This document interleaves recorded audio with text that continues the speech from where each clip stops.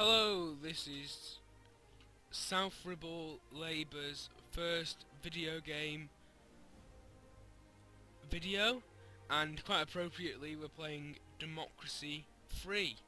So hopefully we can use this to outline some of the policies that we as a Labour Party have for the future of Britain. So we are of course going to play as it is on this list, the Labour Party against the Conservatives. And I think all of these other settings should be okay, so I think let's get started.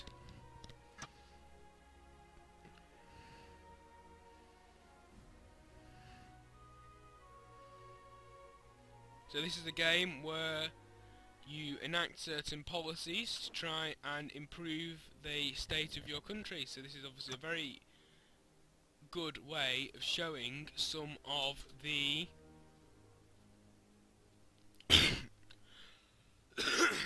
we there's some of the Labour's policies for the future of Britain. So if we look at some of the red ones are obviously our problems. Well, not that obviously if you don't know the game, but here we have homelessness, which is obviously I keep saying obviously, I'm not going to say obviously again. A problem we have in Britain not so much homelessness perhaps, but certainly houselessness, which I suppose is the same as homelessness, where places in inner city areas, particularly London, have a way overpriced housing problem. So people struggle to get homes, so hopefully we'll be able to see some policies that Labour would do to try and improve that. Alcoholism, certainly a problem. Ghettos, organised crime, various crime problems, vigilante mobs, and street crime. And of course, obviously, something that we're paying a lot more attention to in the Labour Party as of late, the environment, which of course causes things like asthma because of all the air quality problems. Of course, in London, I don't know why I keep using London as an example, it's because I've been watching the London debates for um, London Mayor. The air quality is below the legal standard. So, yeah, so this is, hopefully it'll be quite sort of representative of problems we have in actual Britain. Uncompetitive economy. I think that's probably a problem we have in Britain. And a technological backwater. Now, of course, during the Labour leadership election, Yvette Cooper was advocating we spend 3% of our GDP on science funding, which I thought was a very good idea, considering we spend 2% of our GDP on weapons but we won't get too far into that one. Um, so, what problem should we deal with first? So, I, as Prime Minister, just starting my new term, I've been got these list of problems, which one shall I deal with first? Well, I think the first one we should do is raise communities policing up to the very max it can be, which would help to deal with a number of these issues on this hand side, this left hand side. And I'm going to try and do a couple of policies right off the bat to get rid of our alcohol abuse problem because that will slow down our productivity and of course, like in real life Britain, we have a productivity problem.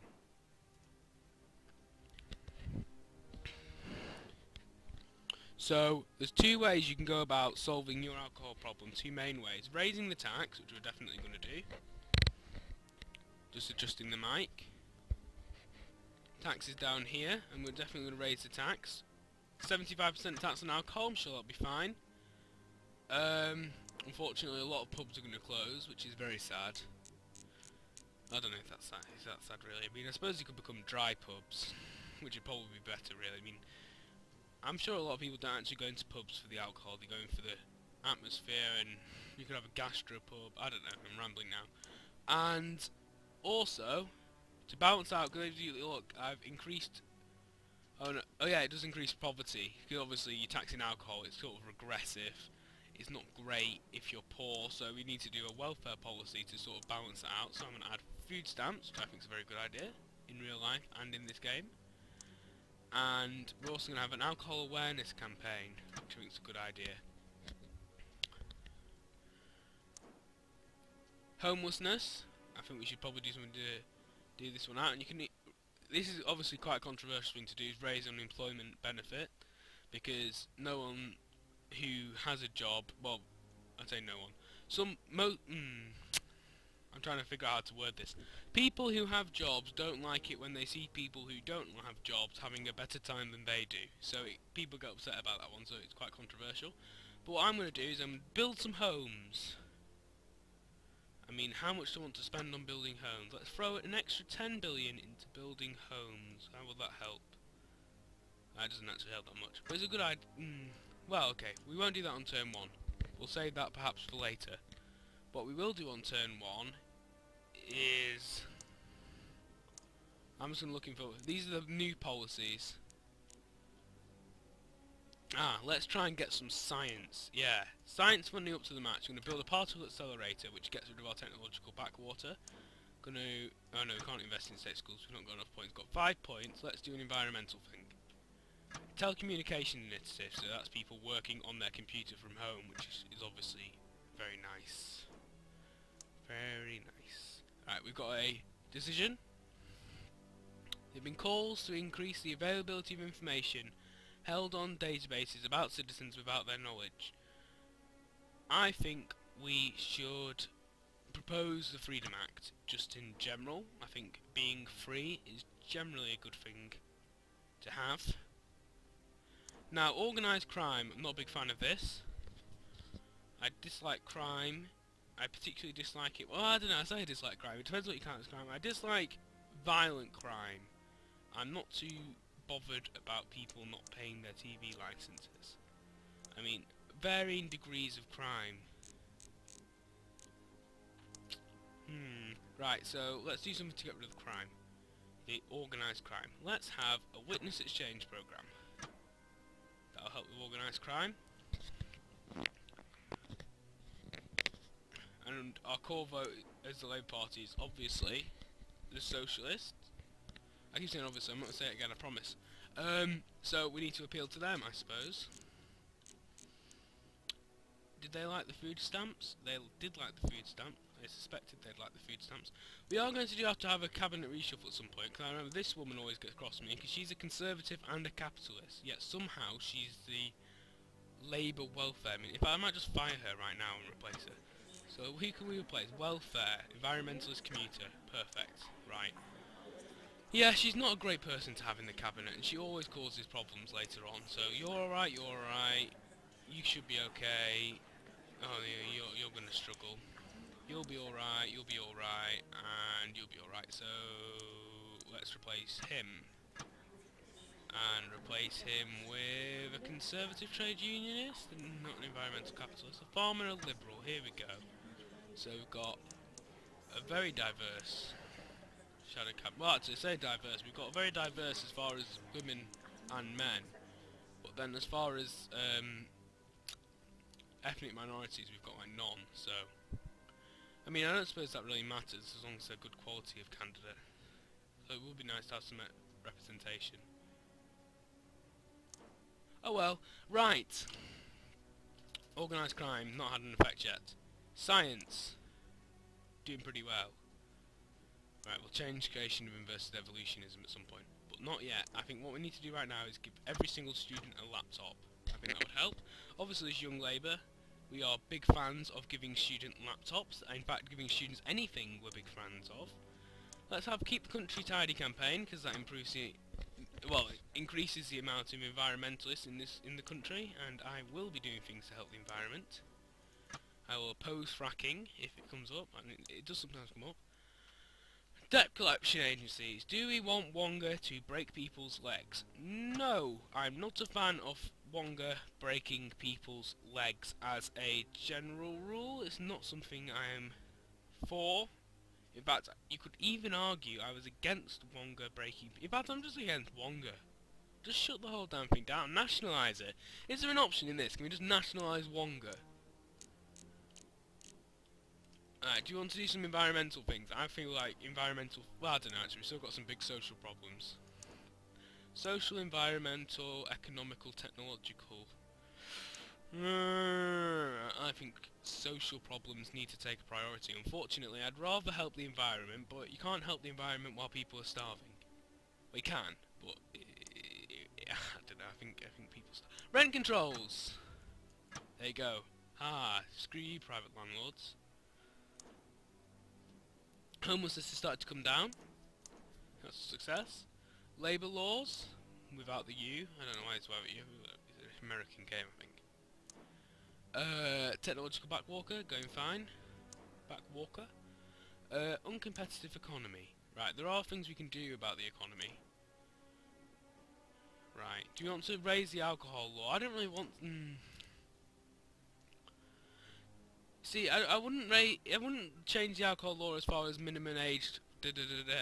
What if I was to change the alcohol law in real life? What I'd do is I'd, I'd make it like the cigarettes law, where we have to put like people dying on the packet. Because to be honest, like the famous grouse, for example, has a picture of a really nice picture of a grouse, which I think would would encourage people to um, buy it more than a picture of a dead body. So if I was going to change the alcohol law, I'd like the option to put dead bodies on beer cans. But as that's not an option, we're going to put strong restrictions on alcohol, and I don't think we have enough for anything. Oh, we do! We can have a carpooling campaign. That should be cheap as chips. Uh, probably even cheaper than chips. We have a superhero, some bunny man of some description, which is both good and bad, because of course it's good because crime goes down, whereas it's bad because it means the citizens are taking the law into their own hands, which is never really good, I would argue. I mean, watching Spider-Man, you will sort of wonder why they're also against Spider-Man in the police force. But then if you think about citizens enforcing laws, and it wouldn't really go down very well, because everyone would then be doing their own separate set of sort of morals. Because what if I thought, like, smoking in bars is totally okay, but then my friend Greg thought it should be punishable by death. He goes out killing people. I go out trying to defend those people. And next thing you know, me and my friend Gre uh, Jeff, uh, what was his name? Me and my friend Generic Name, uh, suddenly in a fight to the death over something really trivial. And I just don't think that's a great idea. It's not a great way to start your career as a crime-fighting vigilante, is to get into a fight with another crime-fighting vigilante. So, what I think, Needle Exchange Programme? It wasn't very popular in the 70s or 80s or wherever it was, but I think it's quite a good idea. Uh, adult education, free school meals, aha! One of the only things the coalition government did that I agreed with. Um, and Tories I think are going to take that away as well, which I think is a massive shame. Homelessness, pretty much leveling out. More welfare. No, well, disability benefit. Be quite good. I mean, I think the disability benefit in real life is either 12 billion or 6 billion. I remember it's one of it's a denomination of 6. But on this, it only, it's capped out at 2 billion. Welfare fraud? I don't know, I'm not too bothered about welfare. well, I don't know, welfare fraud's not great though, is it? Bigger issues. Tourism advocate have visit Lancashire, or visit Britain, I suppose. I mean, to be honest, I think if you wanted to do a Visit Britain campaign, you just go to America and show them all Downton Abbey, just convince them that's what it still was like. And the National Trust um, revenue would go up tenfold, because all the Americans would go over to like Downton Abbey-esque places to see all the um, Downton Abbey-esque things. I think that's quite a good idea, yeah, let's do that. I'm up for that. I managed to talk myself into doing a Downton Abbey themed tourism ad to the Americans. Right, let's do some environmental policies. So we're gonna do some fuel things to stop Volkswagen screwing everyone over. Uh, I think we're out of points actually. Yeah, we've got one point. Right, let's skip next turn. Power lines. They're protesting against power lines through their village. Let's stop the construction and build them underground. I am a benevolent dictator. A benevolent elected official, I should say. How's the economy going? Right. What's the really good one for the economy? There is one that's really good for the economy. Oh yeah, here we go. Government subsidies for unions. We're going to give a billion to the unions. Socialism goes up massively, wages go up. And of course, yeah, that, I think that'd be quite a good idea. I think the unions could do with some support. Let's have a cycling campaign as well. I think that was in the Green Manifesto to have a cycling campaign. Just, oh, Apparently cycling campaigns wreck the economy. Well, I suppose you could probably crash the cycling market. Oh no, you couldn't. It would cre- increase demand, wouldn't it? Well, if it increased demand and the price of bikes went up, and then that caused some people to be who otherwise would spend their income to not spend their income, and then the bike shop went bust, and then it caused a knock-on effect, and more places not being able to buy. Yeah, it could cause a recession. Right, I think we managed to cause a recession with that biking crash. Bikeling. Technological backwalk is going away though, so it doesn't matter because we'll be able to have space bikes soon, and that will bring the economy back into line. The economy is mental. If, if anyone knows anything about the economy, the economy is just mental. Don't try and understand the economy.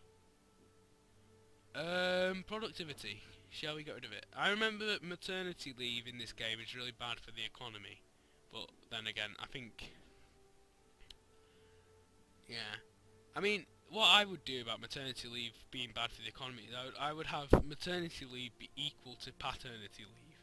Because the way uh, employers, um, what's the word, get around maternity leave is you just pay women less.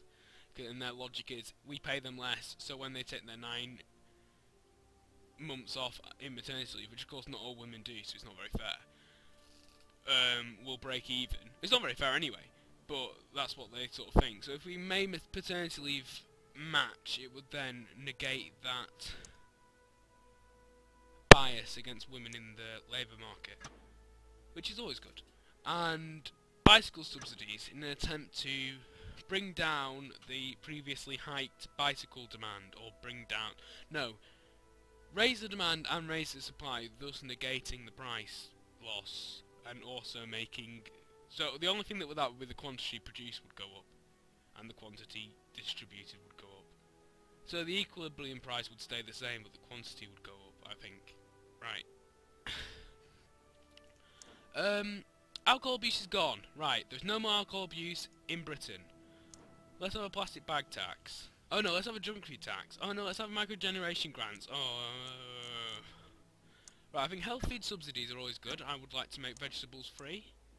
And a microgeneration grant. And a plastic bag tax. There you go, I managed to do all the things I listed. Alcohol abuse is over. Vigilante mobs have all gone home. I need to cough. But I'm not going to cough, I'm going to hold out until the end of the video. I'm not sure when I started, I think it's been about 15 minutes. I'm going to cough anyway. Sorry, I have a cough. Right, let's continue. Technological backwaters slowly but surely going away. Should we have some... Mm, should we make uni free? Where's the uni free thing? Tax credits sound good, but they're not. they're not very good. Enterprise investment scheme, I'm not sure how much... Uh, Hmm. I mean, if a small enterprise would be alright, but I don't know, because eventually it would it would end up. I don't know. It would just be a business subsidy. I, I don't. I'm not a big fan of business subsidies. Free eye test, public libraries, tech colleges, university grants. Here we go. Generous grants to all. Everyone shall have a gener National Armed Forces Week. Hmm.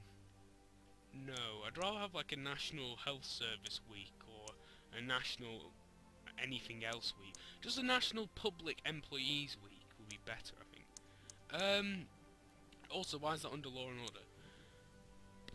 Tax? Don't fancy any of those. Shall we legalise marijuana? No, we've not got enough capital. Uh, political capital, I mean. Don't even get me started on actual capital, it's just so confusing. Um, Trade Council.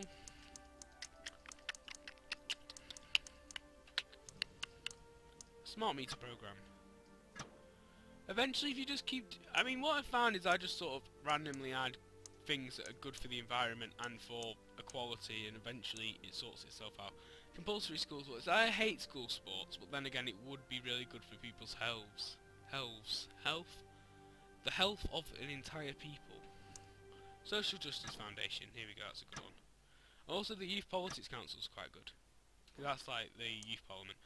Ban it! There you go, there you go. I just ban fracking. Fracking is no more. Yeah, needle exchange program. That's a good one. The Liberals should love me. Why do the Liberals not love me? The alcohol law, right, okay, I can understand that. CCTV cameras, yeah, I can also understand that. Homelessness and ghettos. Right, well, I'm sure the homelessness will eventually go away. Let's build some affordable homes at £600,000. Oh wait, no, that's a bad idea. Um, unemployment... Unemployed benefit. You see, Keynesian economics dictates that if you give money to the poor, it would put more money back into the economy than by giving it to the rich. So if you actually wanted to get the economy going after an economic crash, what you really should do is hike unemployment benefit. But obviously that would be a very unpopular thing to do after an economic crash. Or in general. But it does make a lot of economic sense, or economic sense, or whatever you want to say. I get corrected either way I pronounce that word. Public libraries or free eye tests. What do we want to finish on? Or do you want to do some more transport? Do you want anti... Oh, should we have space? No, space is not, not quite... We're not quite space yet, are we? Technology grants would be quite good. Eco home regulations. I'm Out of capital. And I'm going to end it now. Oh, let's appoint a US ambassador first. So do we want a patriot or an internationalist? Do we want a patriot or an internationalist? Well, I think I would much rather have liberals and socialists. He's popular with liberals and socialists in our society, and she'd be popular with conservatives and patriots, I think. Yeah, patriots and conservatives. I play this game a lot. Um, so, yeah, I'd much rather appeal to the liberals and the socialists, considering I am basically a liberal and a socialist. So, yeah, education's on the rise. Health is really good. Poverty is relatively low. Crime is relatively low. There's a lot of unemployment. But we'll be able to sort out in the next episode. For now, this has been Joseph on behalf of South Ribble Young Labour. Thank you very much and goodbye.